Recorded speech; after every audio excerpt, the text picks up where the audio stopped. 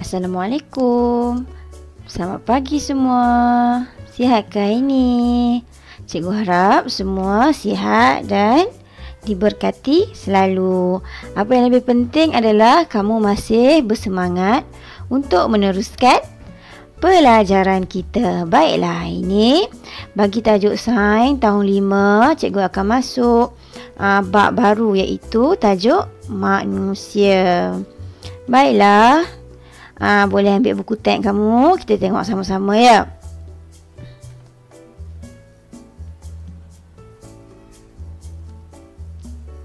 Okey, tengok pada muka surat 19. Okey, itu ada situasinya. Chan dia sedang main dengan kawan dia. Tiba-tiba dia terjatuh.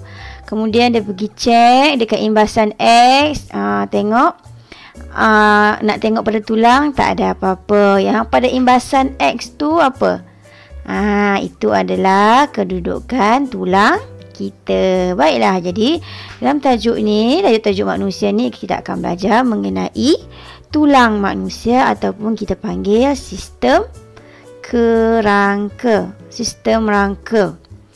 Okey, baik. Tengok sistem rangka manusia. Tadi dekat video pun ada cikgu bagi ada penerangan kan. Ha, dah nampak sikit. Okey, tengok pada muka surat 20. Ha, ini sistem rangka manusia. Uh, tahukah kamu ha, mengapa cacing tidak dapat berdiri tegak? Ha, tetapi manusia boleh berdiri tegak. Jadi manusia dibentuk oleh satu sistem yang dikenali sebagai sistem rangka manusia. Kalau tanpa sistem kita tak dapat berdiri tegak. Kita jadi macam cacing. Baik. Sistem rangka manusia dibina daripada tulang-tulang di dalam badan. Okey, ini sistem rangka kita. Ah. Baik, sistem rangka manusia. Ini atas ni ada tengkorak. Kemudian yang macam banyak-banyak tulang itu tulang rusuk. Kemudian kita ada tulang belakang. Seterusnya kita ada tulang tangan. Bawah tulang kaki. Itu adalah sistem rangka manusia. Semua orang, setiap orang mempunyai sistem rangka. Tengok apa fungsi sistem rangka uh, uh, tengkorak untuk melindungi otak. Ya, otak kita ni sangat lembut. Jadi perlukan sistem rangka supaya kalau kita jatuh ke apa, otak kita tak tercedera. Ini tengkorak. Baiklah, kita pergi ke muka surat seterusnya. Uh, ini pula fungsi tulang belakang. Fungsi tulang belakang untuk ya untuk menyokong tubuh. Ha, nak menyokong tubuh kita nak bergerak kiri kanan nak tunduk itu semua didasari oleh fungsi tulang belakang. Seterusnya tulang rusuk. Ha, ni tulang rusuk kalau kita pegang dekat bahagian ni kita rasa kan dia punya ada tulang dia ha, satu-satu tulang dia dia untuk melindungi organ dalaman seperti peparu dan jantung. Jadi selamatlah peparu dan jantung kita. Ada satu sistem yang melindunginya. Okey, kemudian aa, tulang dan tulang tangan dan tulang kaki berfungsi sebagai sokongan dan pergerakan yang nak menyokong kita nak baling bola ke kita nak be- nak bengkokkan badan nak gerakkan badan itu fungsi tangan tulang tangan dan tulang kaki baik uh, seterusnya Ah, selain ah, daripada rangka, pada rangka kita pertemuan antara rangka ah, di sistem ah, rangka kita di situ kita panggil sebagai sendi. Ah. Sendi tu tempat berhubung lah. Sendi ialah tempat pertemuan dua atau lebih tulang. Ya tempat pertemuan tulang kita ni kan keras.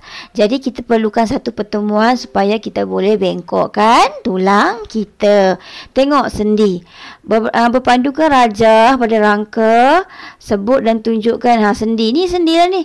Ni sendi uh, leher kita sendi bahu sendi tangan sen, Ha, ni sendi, ha, sendi dekat lutut, sendi dekat kaki. Ha, itu kedudukan sendi manusia. Kat mana tempat yang boleh kita lipat-lipat tangan. Kita boleh pusing-pusing leher. Boleh lipat kaki. Boleh boleh gerakkan tapak kaki. Semua tu adalah ha, di mana ha, ada tempat pertemuan. Di situ ada sendi. Baik, kita pergi ke muka surat 23. Okey, ah dah cerita pasal sendi. Ah kita nak tengok apa fungsi sendi. Baik, fungsi sendi uh, mempunyai apakah fungsi uh, sendi dapat membengkokkan tangan. Seterusnya apa fungsi uh, sendi dapat buat pergerakan tubuh yang boleh lentur maksudnya kita nak menari semua nak sepak bola ha, nak main ni jadi itu memerlukan sendi supaya boleh membuat pergerakan dan keboleh lenturan tubuh okey seterusnya 24 bagi uh, fungsi sendi yang seterusnya ialah Takkan kepala. Ya, cuba kamu pusing kepala kamu sekarang. Pusing. Ha, pusing kiri. Pusing kanan. Tengok bawah. Langut ke atas. Ya, boleh bergerak kan? Maksudnya di situ ada sendi pada tulang leher.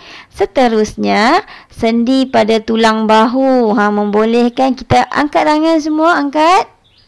Ya, jatuhkan tangan. Angkat jatuhkan tangan. Bagus. Maksudnya sendi pada tulang bahu kita masih berfungsi dengan baik. Boleh angkat tangan semua kan. Seterusnya sendi pada tulang bahu membolehkan pergerakan tangan ke belakang dan ke hadapan tengok macam gambar ni. Dia boleh buat putaran. Itu adalah fungsi sendi. Baik, kita pergi ke muka surat seterusnya. 24, 25. Okey, ha, fungsi sendi yang terakhir adalah fungsi pada tulang, lutut dan tulang pinggul. Ha, tulang lutut kita ni, tulang pinggul untuk kita buat pergerakan ni fungsi dia kita nak buat ha, pergerakan macam ni, pergerakan macam ni. Itu adalah fungsi daripada tulang pinggul dan tulang lutut. Okey, itu adalah sendi. Kita dah belajar uh, mengenai rangka. Kemudian kita dah pergi tempat pertemuan antara tulang tu. Kita panggil sebagai sendi. Dah tengok sendi, fungsi sendi, sendi apa ada. Kemudian kita nak tengok kepentingan sistem rangka manusia. Kenapa rangka tu penting kepada kita? Tengok situasi satu uh, cikgu dia suruh bangun. Jadi, apakah yang terjadi jika tubuh kita tiada sistem rangka? Uh, kalau tak ada sistem rangka, kita tak dapat meluruskan tubuh kita. Ha, tak dapat tegakkan badan kita. Itu fungsi yang pertama. Baik, kita pergi ke muka surat 26. Ah, sistem rangka ni tengok. Kalau tak ada rangka badan kita jadi lembek kan. Ha, membuatkan uh, uh, seterusnya rangka membentuk tubuh kita. Bentuk macam tubuh ada sekarang. Kalau tak ada rangka tubuh kita tak bentuk lah. Uh, seterusnya uh, sistem uh, rangka juga melindungi uh, otak daripada kecederaan. Melindungi otak daripada kecederaan. Tengok dia kena bola pun masih selamat. Okey, seterusnya rangka juga melindungi organ dalaman. Yalah organ dalaman kita macam jantung, hati. Kalau tak dilindungi oleh sistem kerangka, sistem rangka, dia akan cepat cepat rosak kita jatuh ha, dah rosak jantung tapi dengan adanya sistem rangka ha, organ dalaman kita dapat dilindungi baik itu muka surat 26 kita pergi ke muka surat 27. Okey, dah masuk untuk aktiviti kita ha, pada hari ini. Okey, hari ini cikgu nak kita tengok pada muka surat 27 apa yang dia buat. Ah, ha, mula-mula dia kata cari gambar sistem rangka utama. Ah, ha, cari gambar sistem rangka utama dalam internet. Cetak dan guntingkan. Ah, ha, dah dapat gambar sistem rangka. Uh, kemudian uh, kemudian uh, uh, sambungkan setiap bahagian tulang dengan menggunakan uh, dah susun sistem rangka. Dekat bahagian sendi tu kamu letak plus plastisin supaya kita nampak oh di sini ada sendi di sini. Macam contoh gambar nombor dua ni. Ah uh, letak plastisinnya Kalau tak ada, bolehlah kamu letak kertas ke berwarna apa yang ada, apa yang mudah, yang mudah dapat. Okey, seterusnya kalau tak ada plastisin juga boleh buat doh kan. Doh tepung sikit je kita nak guna. Kemudian, nombor tiga, lekatkan gambar rangka. Ha, okey, tak apa. Ha, kemudian, labelkan fungsi. Ha, tengok fungsi rangka rangka bahu ni uh, apa fungsi dia? Sendi dia tu uh, apa fungsi dia? Sini apa fungsi dia? Uh, kemudian nanti kamu tampal dalam buku nota kamu. Okey itu uh, tugasan dalam buku nota.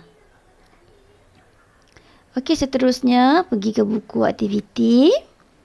Okey muka surat tujuh Okey, label rangka utama. Ah, tadi dekat uh, kita dah cikgu dah terang dekat buku teks kan. Ah, boleh buka balik buku teks, cari jawapan. Ah. Okey, nanti kamu cari jawapan. Dalam buku teks ada. Kita pergi ke sini. Uh, namakan uh, muka surat 8 ya. Namakan jenis sendi berdasarkan rajah yang berikut. Uh, ini sendi pada bahagian mana ni? Ha, ini bahagian mana? Ini bahagian bahu. Ini bahagian tangan. Ini bahagian pandai. Ini bahagian si bahagian lutut. Kemudian ha, nombor dua bulatkan jawapan. Bulatkan jawapan. Ha, ini sendi apa kamu bulatkan? Kamu bulatkan ya. Selesai muka surat 8. Kita pergi nombor sembilan. Muka surat sembilan. Uh, sistem rangka nyatakan fungsi sendi. Uh, ada banyak fungsi sendi, nyatakan dua. Okey, kemudian lengkapkan peta buih tentang kepentingan sistem rangka. Ha, tadi kepentingan dia apa? Nak melindungi organ dalaman, nak melindungi otak. Ada lima kan kat gambar tu. Okey, nanti kamu senaraikan di sini ya. Buat uh, tugasan tu. Satu lagi nanti dalam buku nota kamu kamu salin uh, letak hari ni hari Khamis tarikh semi, uh, 18 hari bulan jangan lupa tulis ya. Kemudian salin nombor satu, nombor dua, uh, nombor tiga tak payah buat sebab nombor tiga kamu dah buat tadi tugasan muka surat 27 tu uh, salin nombor empat. Ha, ya, yeah, boleh itu saja uh, tugasan untuk hari ini. Uh, buat dan uh, buat yang rangka tu letakkan sendi tanpa dalam buku nota. Kemudian buat latihan pada muka surat yang cikgu dah bagi tahu tadi. Uh, seterusnya salin dalam nota nombor 1 2 dan Empat. Baik, kalau ada apa-apa persoalan nanti boleh tanya cikgu pada grup telegram. Baiklah, selamat belajar semua. Kekalkan semangat. Cikgu harap semua dapat hantar tugasan. Baiklah, itu saja. Assalamualaikum warahmatullahi wabarakatuh.